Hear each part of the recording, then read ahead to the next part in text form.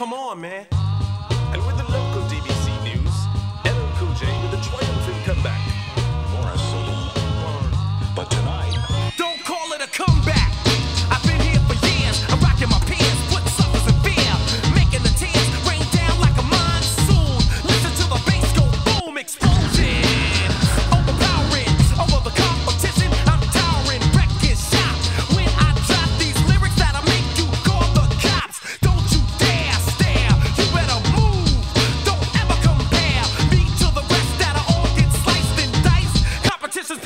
Price. I'm gonna knock you out.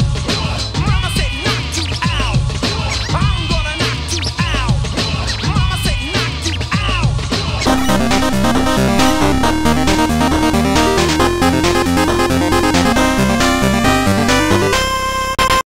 What's up, Internet? My name is Chad Halverson. Welcome back to the One Minute Gamer. You know, can we talk about movies for a second? I just got back from watching Deadpool. $5 Tuesdays!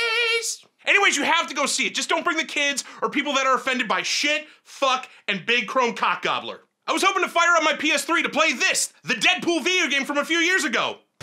Yeah, that didn't happen. I don't know if any of you know this, but there's this awesome charity website called Humble Bundle. It's a place where you can go buy a ton of games, name your own price, and the money goes towards charities like Wikimedia and Child's Play. Anyways, there was an Ubisoft sale two weeks ago, and long story short, I've been catching up with Sam Fisher in Splinter Cell Blacklist. I've played every Splinter Cell game, not that it's necessarily one of my favorites, but I always did enjoy the series. For some reason though, I skipped out on Blacklist when it was initially released. I think I was worried that it was gonna be more like Splinter Cell Conviction, which I beat in a day. Seriously, I was super disappointed by its watered down features. But like any relationship, there's gonna be highs and lows. So I think it's time I gave Sam another shot. Literally. Splinter Cell Blacklist was released in 2013 by Ubisoft and is available for PC, PS3, 360, and the Wii U. What if I told you the next few minutes of your life were going to be the best ever?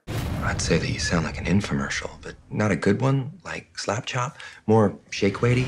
Welcome to Fourth Echelon. A group of terrorists known as the Engineers are threatening violence against the world. So you and your team. Wait, wait, wait. I'm sorry. At this point, does story even matter? You're Sam Fisher. It's up to you to slam, choke, or shoot your way through terrorists. Splinter Cell has always been a decent action adventure game. Back when Conviction came out, they tried to make it more action packed, which sucked because it made it more reliant on shooting your way out of a situation rather than using lateral thinking and sneaking your way to your objective. Blacklist is different though. It took the mechanics from Conviction and added back the option to be one stealthy motherfucker. Why is this so important? Some of us like sneaking our way through levels. Others want to go full Schwarzenegger. So in my case, I usually carry weapons and tools that non-lethally subdue targets. But that's how I play games. If given the choice, I'd rather be surgical, clean, and quiet. My only regret is this game is a few years old and there's nobody online to play with.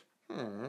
That sucks because I remember having fun back in the day with Double Agent. Spies vs. Mercs was always cool, and I'm missing out on some sweet co-op action. Oh well, I'm not that disappointed. This game is fun, engaging, and the controls just feel better than previous outings. Sam, I'm sorry it took me so long to come back home, but Papa Bear is back, and he gives Splinter Cell Blacklist four knockouts out of five. That's it for me. Thanks so much for watching. Remember, I do this every week, so if you have any games like Deadpool you want to suggest I play, you know, suggest them. Also, if you like strangers babbling about shit that you like, you should check out some of our other shows. Click here for One Minute Rewatch, click here for Bit by Block, and click here for Working Title. Well, it's about time I snuck my way out of here.